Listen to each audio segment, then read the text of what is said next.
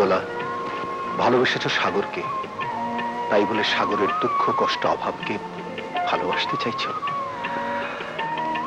কিন্তু দুঃখ কষ্ট অভাবকে যারা মর্যাদা দিতে জানে না তারা তোমার স্বামীর দারিদ্রকে মর্যাদা দেবে কি করে?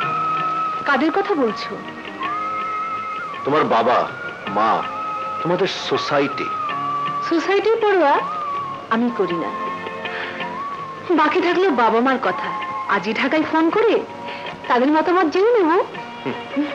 কিন্তু তোমার বাবা মা যদি বিয়েতে মত না দেন? আমার কোনো আবদারই পাপা অপূর্ণ রাখেননি কি বলছিস? বিয়েটাকে তুই পুতুল খেলার আবদার মনে করেছিস? তোকে নেপা পাঠানো হয়েছে বিয়ে করতে নয়। পাপা আমি তো বেশ পেরিয়েছি। বিয়ে তো আমাকে দিতেই। আমি না হয় নিজেই পছন্দ করে নিলাম। তুমি বড় হয়েছো দোলা। কাউকে পছন্দ করার স্বাধীনতা থাকলেও তাকে বিয়ে করার সিদ্ধান্ত নেবার দায়িত্ব তোম নয় তোমার পাপার ইসাক আহমদের। ছেলেটিকে দেখলে তোমারও পছন্দ হবে পাপা?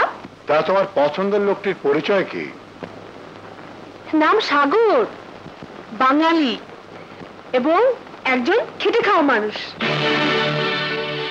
পেশা? গাইড। রোজগার নিশ্চয়ই মাসে হাজার পাঁচেকের বেশি নয়।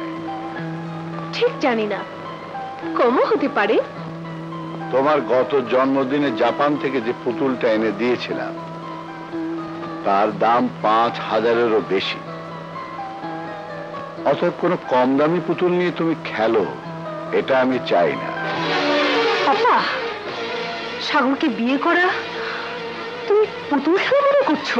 নিশ্চয়ই এর বেশি কিছু নয়।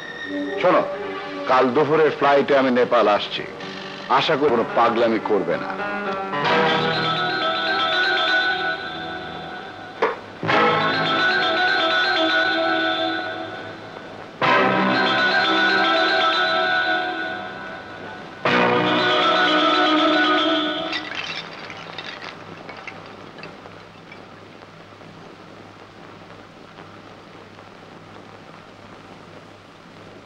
তুমি?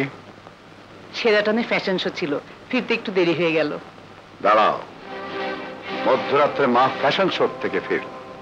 ওদিকে মেয়ে নেপালে কোথাকার কোন এক হাওয়াতে গাইডকে বিয়ে করছে? এতদিন মেয়ের সব আবদার পূরণ করেছ। এখন বিয়ের আবদারটাও পূরণ করো। দোলার বিয়ে দিয়ে আমি সোসাইটিকে নাড়া দিতে চাই। তৈরি হয়ে নাও। কালে আমাদেরকে নেপাল যেতে হবে। কোথায় যাচ্ছিস? সাগরের কাছে। এত রাতে? পাপা কাঠমান্ডু পৌঁছার আগেই বিয়েটা সেরে ফেলতে চাই। দোলা তোর পাপা ঠিকই বলেছে। নেপালে বেড়াতে এসে সাগরকে তোর ভালো লেগেছে। কিন্তু তাই বলে ওকে হুট করে বিয়ে করে ফেলবি? আমার ভালো লাগাটা যেমন হুট করে হয়েছে বিয়েটাও হুট করে সারতে চাই। জানি। তোর কোনো কাজে বাধা দিয়ে কেউ কোনো দিন ফেরাতে পারবে না। তবে বলছিলাম কি, বিয়ের সিদ্ধান্ত আর একটু ভেবেচিন্তে নিলে হতো না? যা ভাববার ছিল, যা চিন্তার ছিল, তা আমি সেদিনই শেষ করে ফেলেছি। যেদিন সাগরকে প্রথম দেখেছি।